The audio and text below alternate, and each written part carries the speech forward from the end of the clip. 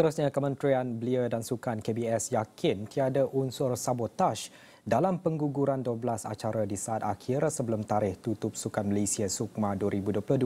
Sehubungan itu, syarat sekurang-kurangnya penyertaan lima negeri sedang diperhalusi berbanding enam sebelum ini. Menteri Belia dan Sukan Datuk Seri Ahmad Faizal Azumu berkata ada persatuan sukan yang aktif di negeri-negeri tertentu sahaja namun tidak di negeri-negeri lain khususnya negeri yang kecil.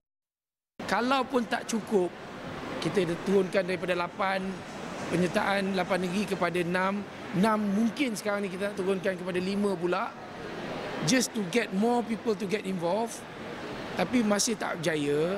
Apa yang kementerian bersama, melalui Majlis Sukan Negara akan lakukan ialah untuk menganjurkan kejohanan bertaraf kebangsaan bagi acara berkenaan bagi membolehkan atlet-atlet kita terus dapat terlibat.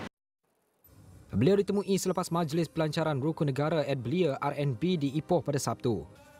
Baru-baru ini dilaporkan 12 acara sukan terpaksa digugurkan kerana tidak memenuhi syarat sekurang-kurangnya penyertaan enam negeri.